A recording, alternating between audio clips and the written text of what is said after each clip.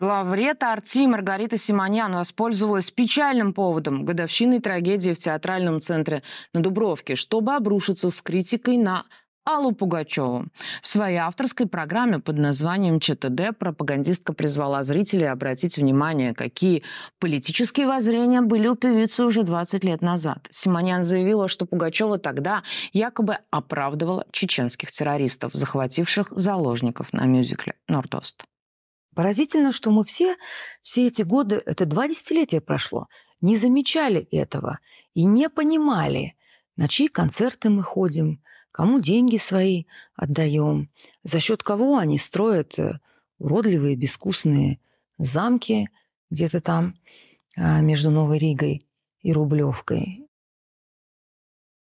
Что ж, а мы обсудим эту и другие не менее печальные, наверное, новости культуры с а, музыкальным критиком и журналистом Артемием Троицким. Артемий Киевич, здравствуйте. Добрый вечер. Да, ну вот э, хотелось бы какой-то комментарий. Я вот, например, не знаю, как такое комментировать. Меня именно удручает тот факт, что она пользуется годовщиной этой трагедии в каких-то явно целях, может быть, которые задачи, которые ей поставлены. А вы как считаете, что это было? Ну, смотрите, во-первых, я только что увидел титр этого сюжета, и у вас тут написано «Симоньян хочет посадить Пугачеву». Ну, это, конечно, очень смешно. А вот, естественно, она ее никуда не посадит. Э, с вашей подачи, кстати говоря, я думаю, что вряд ли я бы сам по себе дошел до таких новостей, но с вашей подачи попросили меня ознакомиться и э, я посмотрел этот сюжет, uh-huh. а также комментарии к этому сюжету. Надо сказать, что они очень и очень э, красноречивы. Ну, во-первых, совершенно очевидно, что сейчас любая моська, любая шавка обожает лаять на слонов, будь то Пугачева, будь то Макаревич, Гребенщиков и еще там всякие знаменитые, любимые и уважаемые люди – Э, другое дело, что это им абсолютно не удается, как мне представляется.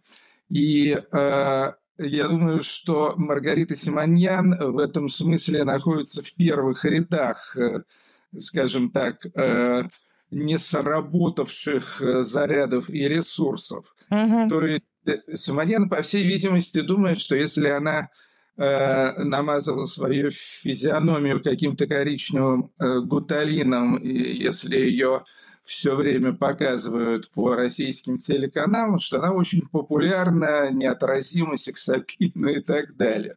Вот. Это, к сожалению, для нее абсолютно не так. Ну, то есть я общаюсь с разными людьми, не только э, со своими сообщниками, uh-huh. агентами, а, вот, ну и прочими всякими товарищами, и я могу сказать, что Маргариту Симоньян ненавидят все, без исключения. То есть я думаю, что мало найдется в русскоязычном мире людей с таким же высоким антирейтингом как у э, Маргариты Симонян. То есть есть люди, ну я таких знаю просто, которые, в общем-то, с интересом слушают, э, скажем, Бесогона Михалкова, и uh-huh. читают э, Маракобеса Дугина, но при этом Симоньян они э, ненавидят люто. То есть имеется некий такой всероссийский консенсус э, относительно ненависти к Симоньян. И я прочел комментарии э, к ее э, выступлению по поводу Аллы Борисовны Пугачевой. Э, там во-первых, их было довольно мало, где-то где 20 с чем-то. Во-вторых, почти все, ну то есть э, где-то 19 или 20 комментариев были за Пугачеву, э, в том числе с фразами типа «Вот я послушал э, то, что сказала Пугачева по поводу теракта на угу. Дубровке. Точнее, она высказывалась даже не столько о теракте на Дубровке, сколько по поводу Второй Чеченской, Чеченской войны. войны, да. Вот, так вот мы ее послушали и зауважали Аллу Борисовну еще больше. Алла Борисовна молодец. Ну, естественно, всевозможные комментарии с боброедками э, и все такое прочее. Так что это, это абсолютно категорически не работает. И я думаю, что, в общем-то, зарплату свою Симонян получает абсолютно зря. Более того, из нее надо было бы по уму вычитать какие-то деньги за тот вред, который она наносит э, имиджу российской пропаганды. Дискредитация, я бы сказала. Есть такая, знаете, с недавних пор уголовная да, статья, да. вполне можно применить к Симонян за ее неумелую работу.